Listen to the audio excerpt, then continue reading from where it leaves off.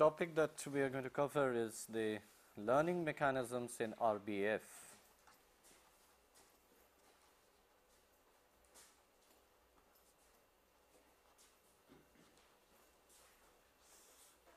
This is a topic which uh, we have already introduced in the last uh, class and in fact uh, this is the last uh, topic that we wish to cover under the chapter of the radial basis functions. Now, one thing which uh, you have noted uh, during our last uh, lecture is that uh, whereas in the case of uh, the multilayered perceptrons or single layer perceptrons, uh, as the free parameters what we have is the set of all the WJIs, right, where the weights are the free parameters, I mean weights and the bias of course, okay. And then we have to adjust these weights and the bias in order to um, I mean um, uh, satisfy the constraints of the problem which is given to us through the form of uh, the uh, training patterns. Okay. Whereas, in the case of the RBF what we have as the free parameters is not only the set of WIs which are the uh, um, synaptic weights from the hidden layer outputs I mean from the hidden layer to the output layer, okay, but also the centers of the uh, radial basis functions okay, which we call as the TIs. Those TIs also will be regarded as the set of these TIs will be also regarded as a free parameter to the system. Okay.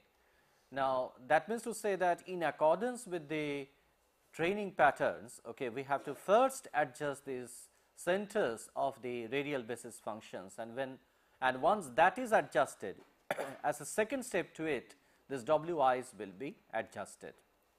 So, it is not that everything can be done together because the adjustments or updatings of the wi inevitably requires that at first all the TIs have been obtained. Okay. So, this is a two step learning process. Okay. Uh, first for the uh, centers of the uh, radial basis functions and then for the synaptic weight connections. Okay. Now, the first case that we had taken for the choice of the centers was where we chose fixed centers. Okay.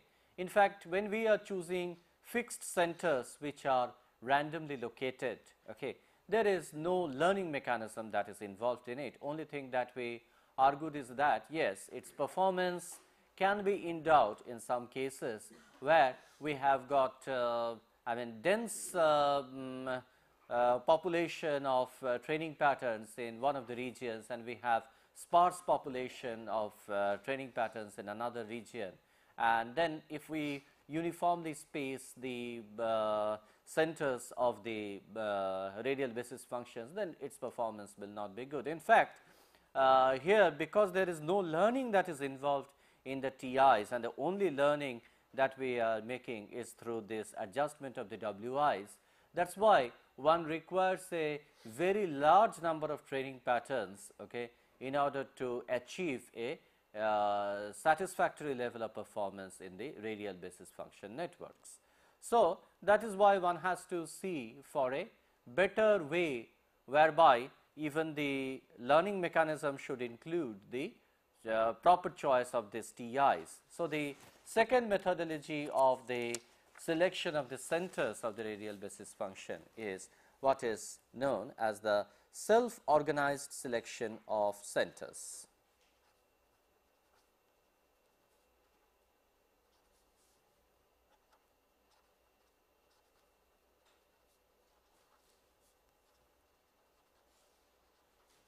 Okay. Now, uh, in this case two uh, stages are involved. First is what is called as the self organized learning okay. and in the case of this I mean this will be the first step where we estimate the locations of the centers of the RBF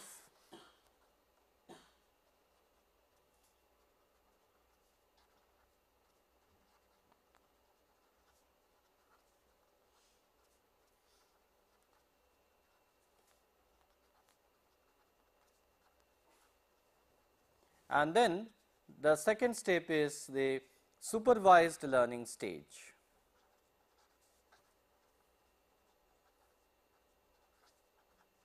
And this will be used for estimating the linear weights of the output layer.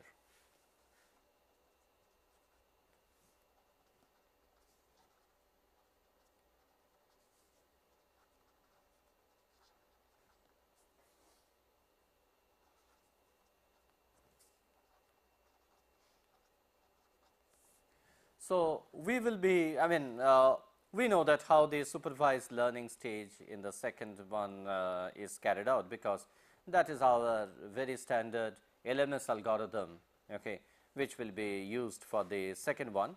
But what is important uh, for us to know is the mechanism of the self organized learning okay, that is to estimate the locations of the center and this in fact is done by the k-means clustering algorithm.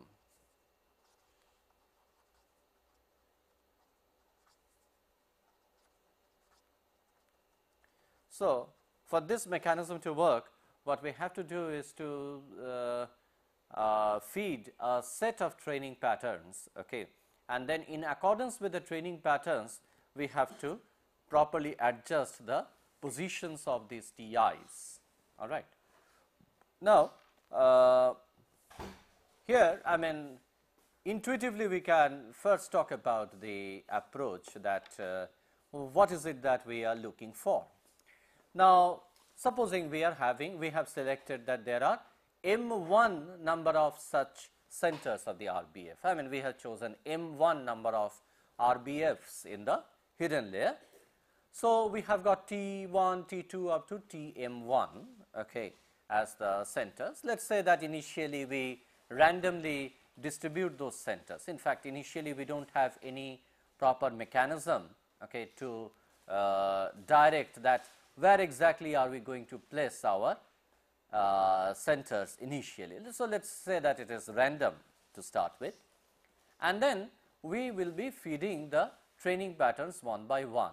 Okay. Let us say that we feed the first training pattern say x 1 as a vector we are feeding x 1 and now uh, when the x 1 is fed then all these centers of the RBFs okay, they will be competing with each other okay, to see that if they are closest to the uh, pattern x 1 that we have fed. That means to say that when x 1 is fed then out of the m 1 number of TI centers that we have got okay, there will be one okay, which will be closest to it okay, and there will be m 1 minus 1 others okay, who will be I mean relatively at a distant away from it. Okay. Although it, it does not uh, necessarily say that there is no question of having a tie, okay. there can still be tie in some cases where maybe that more than one centers okay, will be having the same distance and if that is the case in that case any one can be arbitrarily declared as the winner because there it not really matter that whether we declare uh, I mean out of the competing whether we declare this as the winner or uh, some other uh, center as the winner, but one of the centers will be the winner based on the proximity to the training input that you have fed. All right. Now, uh, what we have to do is that the center which emerges as the winner, what we do is that we move that center okay, closer to the pattern. Okay. We do not exactly make it equal to the position of the input, we just make it closer. Why? Because I mean uh, it is not that a particular center okay, will respond to only one pattern. I mean the uh, center is not re really patented to one particular pattern only. That center may be responding to a group of patterns. So, ultimately what happens is that if those group of patterns are organized in some manner, okay, then possibly the centroidal position of that group, okay, I mean the center will try to lie there.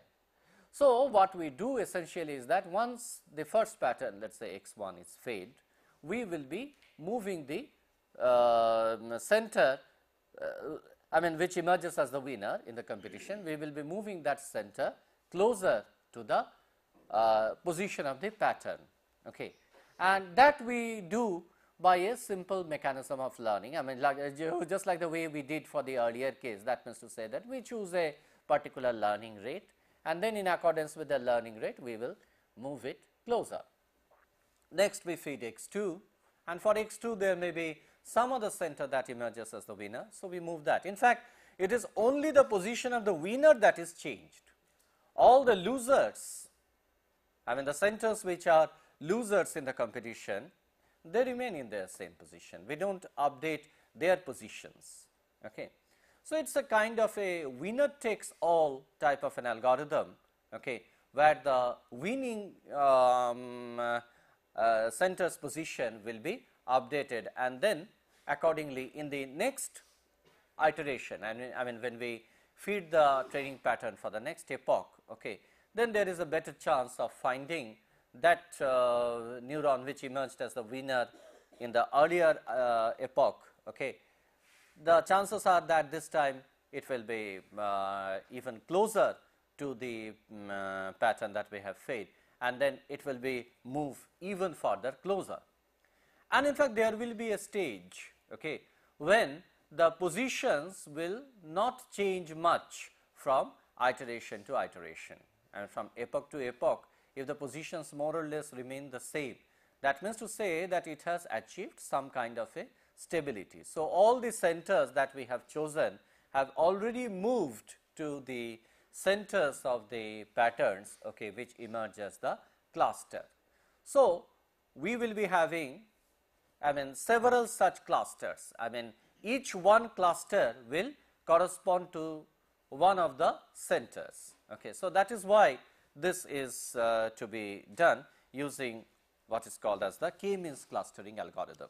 So, having understood the philosophy of it, okay, I think we can uh, I mean present the algorithm okay, which uh, should not be difficult for you to understand.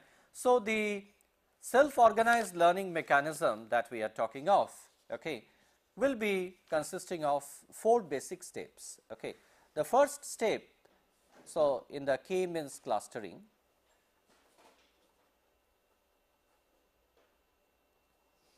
which uh, will do the self-organized learning of uh, the uh, selection of such centers. The first step is the initialization. So, in this process we choose random values of initial centers.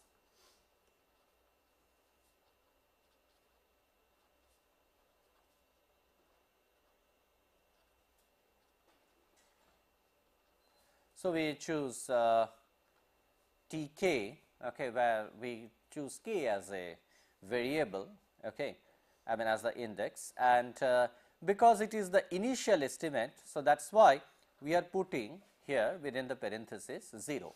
So, here the number that we write down under the parenthesis is that is the iteration number. So, uh, the iteration number 0 means it is initial. So, we choose some random position. So, then accordingly later on this TKs will be updated as TK1, TK2 like that. So, the nth iteration will be uh, I mean we will be calling that as TKN. Okay. So, this uh, can be chosen as a random value, but only restriction is that the initial values should be different.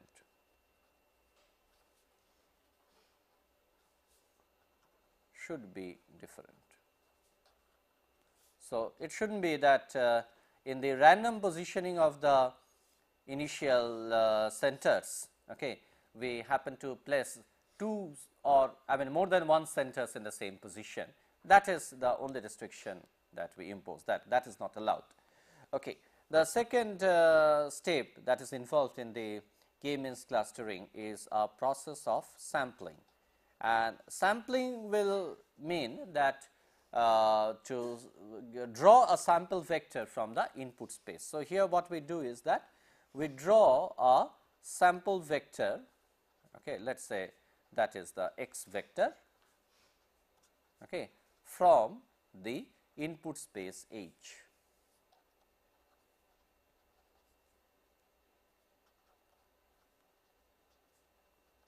Okay. Now, uh, this I mean supposing we are in the nth iteration. Okay. So, for iteration n the sample that we have drawn we can write it as x of n. Okay given that in the nth iteration we have picked up the sample vector x. Okay. I mean we will be picking I mean picking the sample vector for every iteration right from the input space. Okay. Now, next the third step will be what? I think you can guess that the third step will be a computation of distance. Yes, a computation of distance or a computation of similarity in the distance. Okay. So, the computation of the distance or in other words we can call this as the similarity matching. Okay. Now, in, in uh, this case what we do is that we have to determine that which is the index of the winning center. Okay. So, supposing we denote that k as a function of x. Why as a function of x? Because I mean the index that is there for the winning uh, position okay, is definitely a function of x that is the input. Because if we feed a different input we can get a different center. So, the index will be different. So, the index should always be written as a function of the input that we are feeding, function of the input vector that we are feeding. So, we choose that let k x denote the index of the winning center, denote the index of the best matching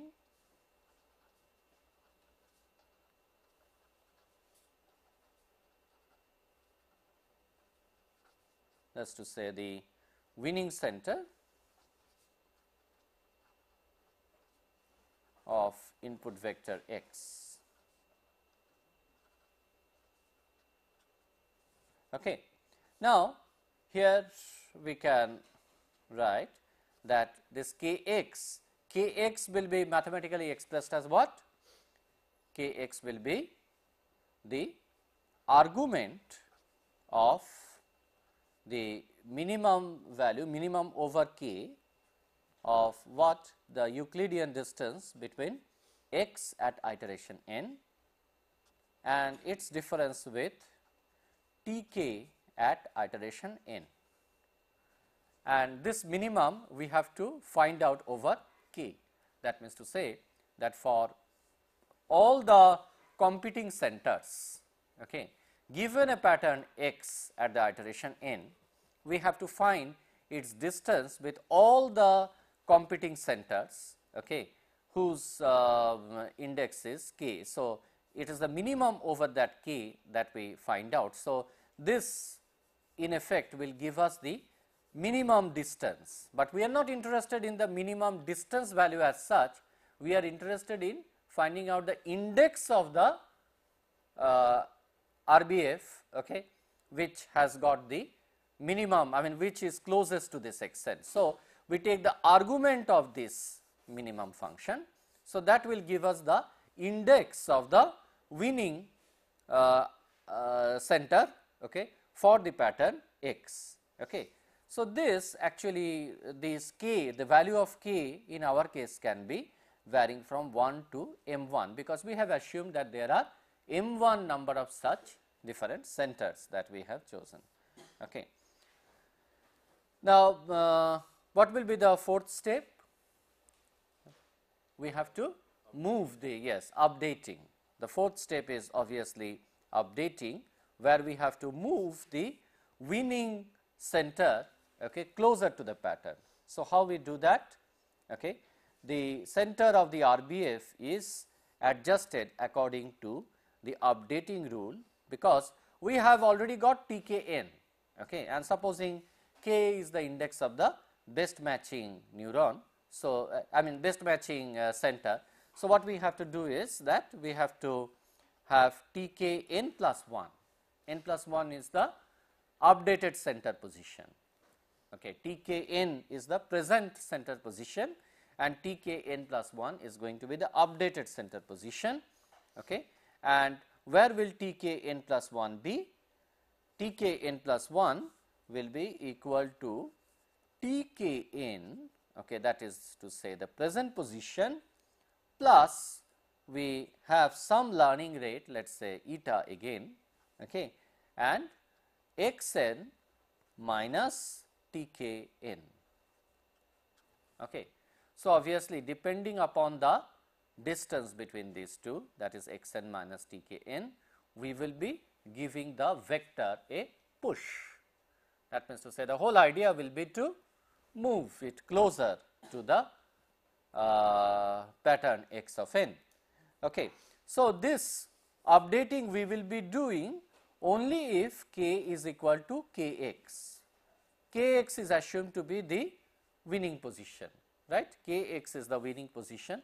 So, if the kth center that we have chosen to update happens to be the winning center itself, then we will be applying this updating rule. And if that is not the case, what are we going to do? I have told you that. What will be Tk n plus 1? Remain the same. So, that means to say that in that case T k n plus plus 1 will be T k n. Okay. So, this is the case otherwise. Okay. And obviously, as before what we have to do is to choose some learning rate eta okay, which lies between 0 and 1. Okay. So, this is the fourth step which is the updating, but mind you updating we have done okay, for uh, only one uh, this thing I mean for only uh, one pattern. Now, similarly we have to do it for all the patterns and then once that is done for all the patterns okay, we have to repeat it all over again. Okay. And so, what we have to do is that the next step will be the continuation. So, as a continuation step what we have to do is to increment n by 1. So, in fact, by incrementing n by 1 what we are actually doing is that yes we are going over to the next iteration and in next iteration we are drawing a different sample. So, I mean this n is not an index by epoch, but rather n is an index I mean n we update and for every iteration we pick the uh, pick a new vector. So, it is not like that uh, I, I, I, mean like the way the learning mechanism is there for the multi-layered perceptron where we said that okay you have to finish off x1 to xn okay and that constitutes an epoch and then again you have to present x1 to xn. Here it says that okay you pick up the iteration number n, pick any pattern from the input space, update n, make it n plus 1 and then again pick up something at random. So, if you are doing it randomly okay, several times, then there will be a stage when every pattern will be picked up sometime or the other and then the learning will be carried out. So, the, the so what we do as a continuation step is to increment n by 1 okay, and then where we have to go? We have to go back to the step number 2 that is the sampling. After updating n we have to draw a fresh sample from the input space. So, increment n by 1 then go back to step 2 okay, and we have to continue until no noticeable change changes are observed in the centers until no noticeable change changes are observed in the centers Tk.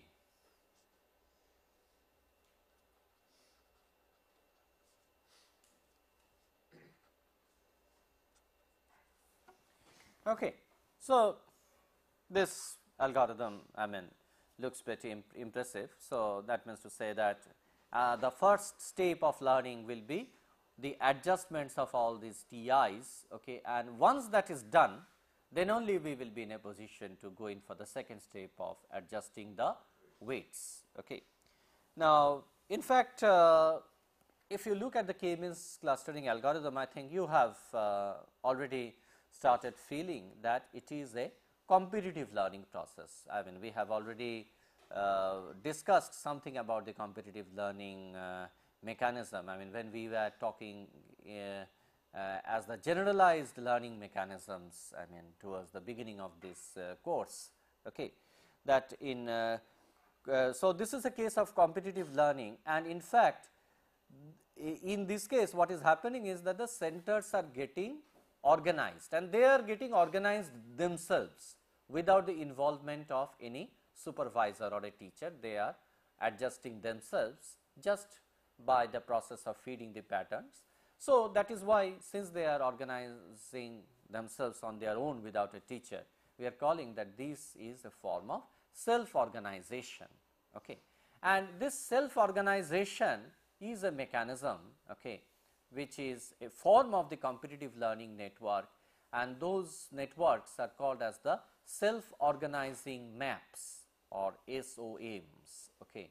And we will be covering the self organizing maps okay, because it is a very important and quite interesting self uh, I mean competitive learning mechanism. So, we will be covering the self organizing maps okay, in our uh, future lectures. Okay. Uh, but uh, I mean one thing that uh, one uh, has to say is that I mean let us not think that this k-means clustering algorithm is free from its drawbacks. Because one thing what uh, we have said is that the very first step is, a, is an initialization and because we do not know any a priori idea about where the centers should be located, okay, we chose random values. Now, that is the most logical thing that we could do initially, but this has got one drawback that if by chance our initial choice of centers is poor, okay, it could be that the uh, patterns will get uh, stuck, I mean the, the positions okay, uh, of the uh, radial basis function centers will get stuck to the local optimum solution. Okay. And if that is the case, then we will not be having uh, the proper learning of the centers because instead of uh, pointing to a globally optimum, okay, because ideally what it should do is that uh, for the group of patterns which a radial basis function should represent, okay, the its position should be at the centroid of that. So, if instead it just uh, locally adjusts to a few of the patterns and it does not consider the others which it should have, okay, then that is not a proper learning. So, this obviously has got some drawback, okay, uh, I mean in the process of its self organization.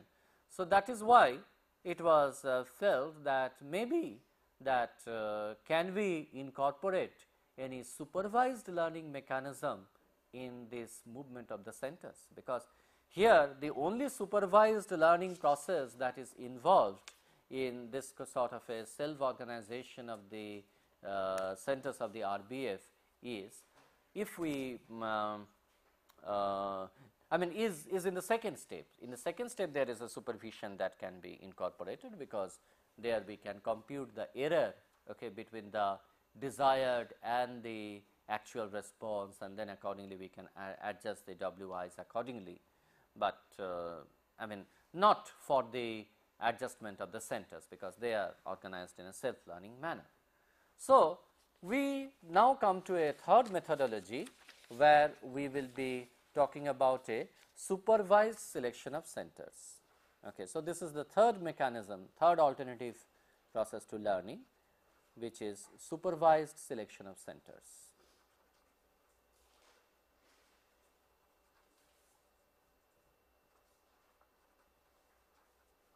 So, in this case what, what is going to happen is that it is not only the WIs, but also the TIs which will go through a supervised learning process. Okay. So, naturally for a supervised learning process we know that the most obvious choice is the error correcting learning okay, what we have already studied. Okay. So, if we can introduce a form of error correcting learning which is most conveniently used implemented using a gradient descent algorithm. Okay. In that case, we can uh, I mean achieve the supervised uh, way of uh, learning for the uh, centers TIs also. Okay. So, in order to have that, we will be talking in terms of the cost function. So, we can define the instantaneous value of the cost function as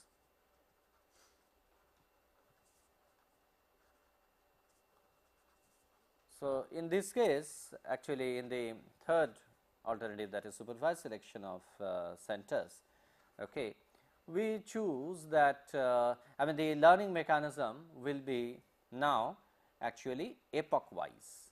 Epoch wise in the sense that uh, we will be um, first feeding the set of n patterns okay, and then we will be I mean we will be keeping the weights same for all the n patterns I mean like the batch learning mechanism. Weights the centers everything will be kept the same. And then depending upon the error that we obtain okay, we will be making adjustments. So, what we will be having is that so this will constitute an epoch. And for an epoch the cost function that we are considering is we are calling that as the uh, instantaneous value of the cost function which we are writing as half of E j square okay? And this is j is equal to 1 to n okay? So the sum of all the E j square from 1 to n we are calling as the instantaneous value of the error and in this case the error E j will be simply defined as the desired d j minus the actual response and how do we make the actual response. Now, in this case this is definitely an approximating network that we are taking because we are feeding n number of patterns, but we are having choice of m 1 number of centers where m 1 is less than that of n. So, because this is an approximating function we have to use f star. Okay. So, this is f star of x j all right. So, this is the error okay.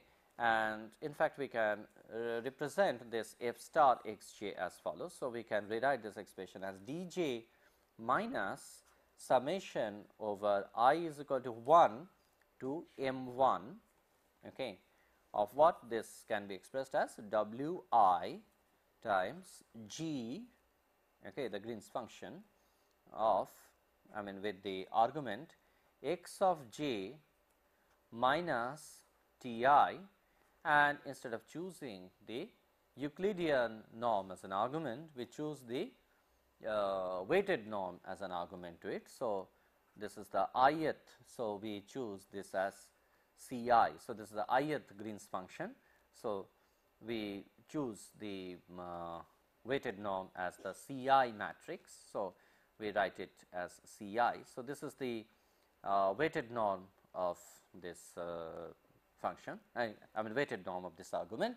So, this is our instantaneous error. Okay. So, what we have to do in this process is, uh, so this is E j and we will be accordingly finding the E j square and then the instantaneous value of the cost function. Okay. And what our requirement will be to find all the free parameters. So, our requirement is to find W i's definitely W i's are the free parameters TIs they are also the free parameters. Anything else that is the free parameter? No? Yes, there are. You see that uh, we are choosing the weighted norm. So, weighted norm means there is a CI matrix that is involved, that is right, uh, weighting matrix. So, even the weighting matrix element okay, that is also a free parameter. To it. Okay. So, weighting matrix is a free parameter. In other words, I mean uh, what we have as a free parameter is the sigma. Sigma is what? Sigma we had we had chosen as the uh, yes, I mean as the covariance matrix of that.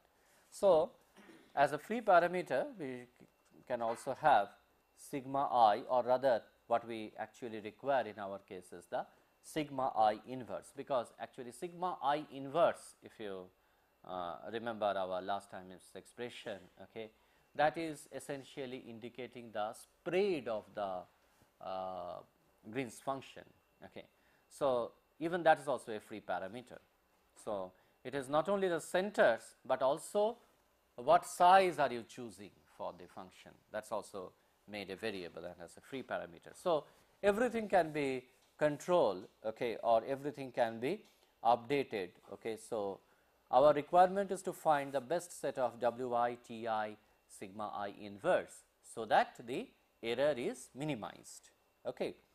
So, so as to minimize the error E. Okay. So, the result of this minimization okay, we can summarize as, as follows. Okay. In fact, that uh, I mean I am writing the results, okay, but you can do it as an exercise yourself. Okay. You see that the first result that we present is that of the updating of the linear weights. Now, linear weights are the ones that we are having at the output layer. And in order to find the linear weights, what we have to do is to differentiate the error with respect to with respect to come on don't keep quiet. With respect to wi's with respect to wi's because when our objective is to update the linear weights we should differentiate the E with respect to wi okay and what are we going to obtain out there? I mean can anybody make a good guess? You see look at the expression of E, E is summation of E j square, j is equal to 1 to n and individually this E j is like this all right. So, if you look at the E j's expression here there is a d j which is of course independent of w j okay. and only here we are having some terms that is involving w i. Okay.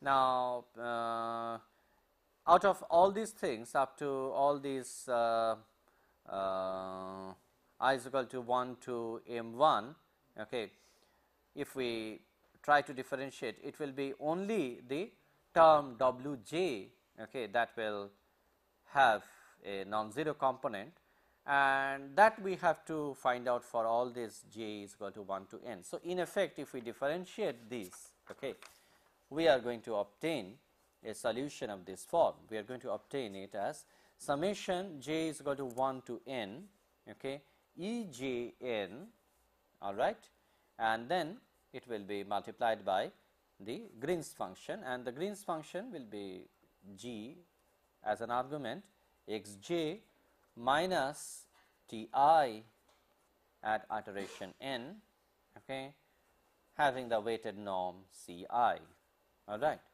and here the w i n plus 1 that is to say the updated weight. The updated weight will be simply given by w i n that is the past weight okay, minus eta 1 dou e dou w i n. The simplest gradient descent type of a technique that where it will be learning rate times the derivative that we have obtained and that becomes our updated weight. And this mind you we have to carry out for i is equal to 1 to uh, m 1. We have to do it for all the i's for 1 to m 1. Okay. So, this is the yes please any doubts?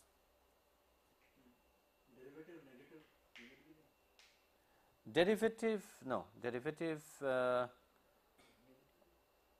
okay yeah yeah but uh, actually speaking okay whatever dou e you get as the sign okay uh, I, I, mean you you'll have to reverse that sign over here. So uh, if it happens that uh, this one No, because the weights you do not know, I mean weights could be positive, weights could be negative, but uh, whatever term we get, okay, we have to, I mean move in the opposite, uh, I mean in a direction against the gradient. So, naturally there is a minus that is involved in the learning process. So, this will take care. Okay. So, uh, this is the adjustment of the linear weights which is pretty simple. I mean not uh, any uh, new knowledge that we had acquired because this sort of a weight adjustment learning we earlier also did. Only difference is that in this case we are having the Green's function coming in, in in the derivative term, but once found out derivative okay, I mean it is easy to adjust the weights. And next uh, I mean what is involved is uh, the positions of the centers because now that is also done in a supervised manner. So, let us see that how the positions of the centers are organized. So, these positions of the centers will be uh, learned for the hidden layer. Okay. So, in order to uh, have that, okay, now what are we going to do for the uh, I mean how, how, how are we going to differentiate this function e with respect to now with respect to ti's yes that is right.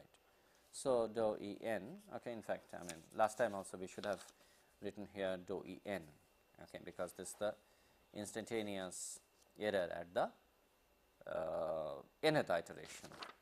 So, here we have to see dou E n dou T i n we have to differentiate with respect to this. And if we do that, okay, in fact, you can just make a guess from here itself that E j square is involved. So, E j square would necessarily mean that uh, there will be a term that involves this uh, W i square. Okay. So, this in effect is 2 times uh, uh, uh, in fact, I mean uh, that also tells us one thing that uh, somebody was pointing out to me that whether the derivative of uh, E j with respect to W i becomes negative. Okay. In fact, here mind you that there is a square term that is involved. Okay. So, this plus this square plus this square term and then if you take a derivative of this there is a half term that is involved over here. So, what you get is E j w i that term. Okay. So, the derivative was a positive term, okay. derivative was, neg was a negative. Okay. Uh, and uh, here the derivative that we will be obtaining with respect to T i is, is 2 times w i n okay, summation over j is equal to 1 to n E j of n and this time what we are getting is the derivative of this g function. Okay. So, it is g prime that is what we are writing. So, g prime means the derivative of g okay, and as its argument we will be having x j minus t i of n okay, having weighted norm c i and then this continues sigma i inverse okay, and then we are having the term x j minus T i of n all right. And here you see that uh, our T i's okay, uh, T i n plus 1 becomes equal to T i n minus again some learning rate, but last time the last learning rate that is to say for the uh, linear weights, we were putting eta 1 as the learning rate. So, this time we have to put a different learning rate for the positions of the center. So, we put it as eta 2 as the learning rate. So, this is eta 2 minus dou E n dou T i n all right. Now, uh, in this case you see that okay, T i n plus 1 becomes the updated positions of the center. Uh, one point that um, uh, you, you, should note at this stage is that how are we obtaining T i n plus 1? We have to take the derivative with respect to Ti of course, derivative of the error and error we are getting only because we know that what our desired pattern is. So, definitely the positions of the centers they are also adjusted in accordance with the supervision because we know that what di is, we know what errors are and because we know what errors are we can compute the derivative of that error function and we can move the center positions accordingly. So, it is a supervised adjustment of the positions of the center. And uh, as I was telling you that in addition to the uh, determination of the positions of the centers, okay, even the spreading of the centers okay, that also can be determined in this case. Okay. In which case what we have to do is to differentiate this ease with respect to sigma i's. Okay. So, if we do that then we will be getting results of this nature. So, the third learning that is involved with this supervised selection of clusters is the spreading of centers.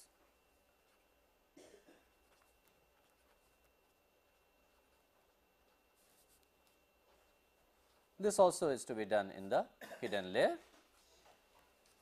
Okay.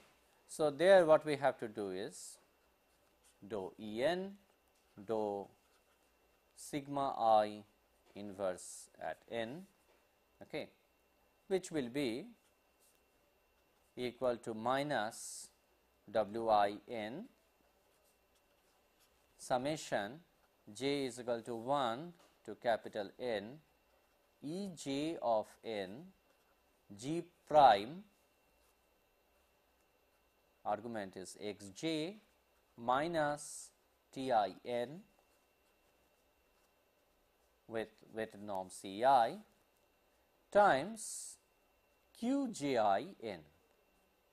So, q j i n is a new matrix whose definition is like this q j i n is actually the outer product matrix which is obtained using x j minus t i n. So, because it is an outer product what we have to do is x j minus t i n and then have x j minus t i n transpose.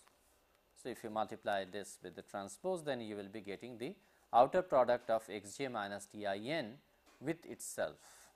Okay. So, that is the composition of this q i j n matrix okay, which we will be requiring in the computation of the derivative. Okay. And once this derivative is computed then the sigma the updated sigma matrix okay, could be obtained like this. So, sigma inverse n plus 1 is equal to sigma inverse at iteration n. Okay.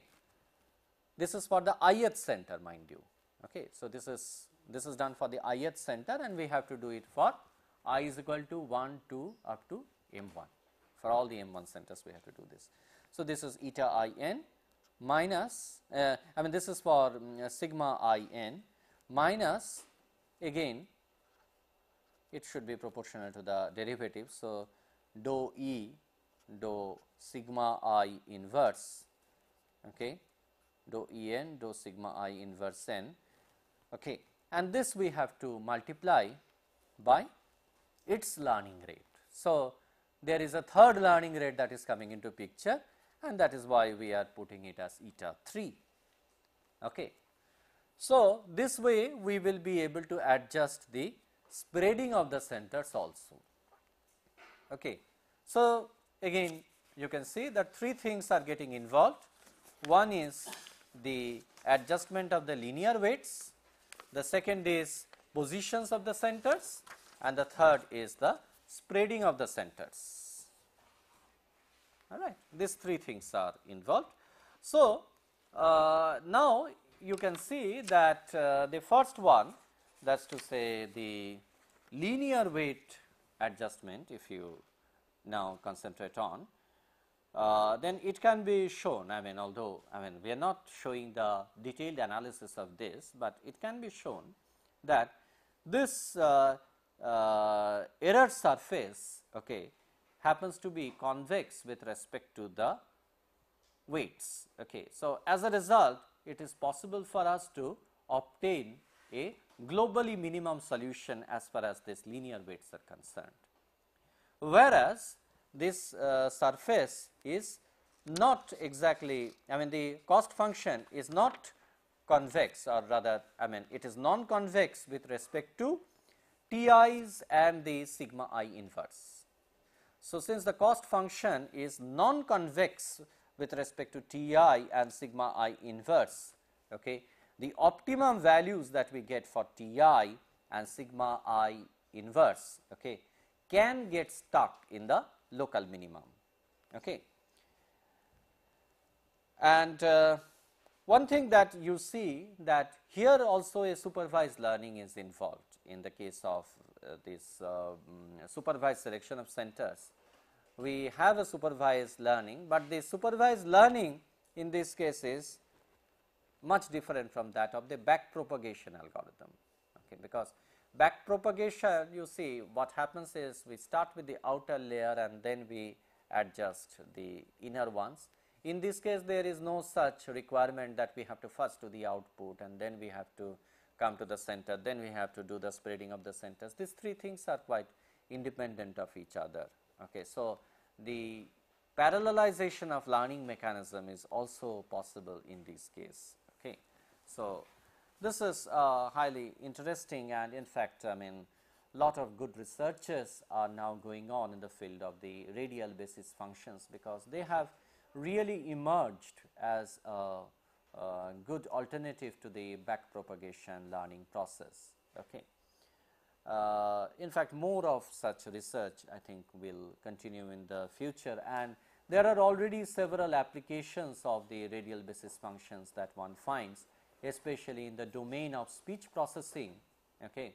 There is good amount of research that is going on and uh, in the image processing yes I mean uh, we have not uh, found too many applications of RBF yet, but in the coming years I think we are going to use lot of such applications involving the radial basis functions. Uh, and the next topic which we will be covering from the next class is the principal component analysis, which is in fact a very uh, important, very useful and very efficient tool for the dimensionality reduction of the data. In fact, you will be surprised that uh, whereas in the case of the RBFs we were talking about some dimensionality increase because what we had talked of is that we had to map it into a higher dimensional space so that the separability of the function okay, improves. Okay. Whereas, in the case of the, of the principal component analysis, the whole motivation will be to obtain a data reduction, which we will be doing by simply doing a dimensionality reduction technique and it, it is done in a very optimal way, finds lot of applications in the uh, data compression, be it speech or be it image and video compression applications. Okay. So, we will be talking about that from the next class. So, till then goodbye.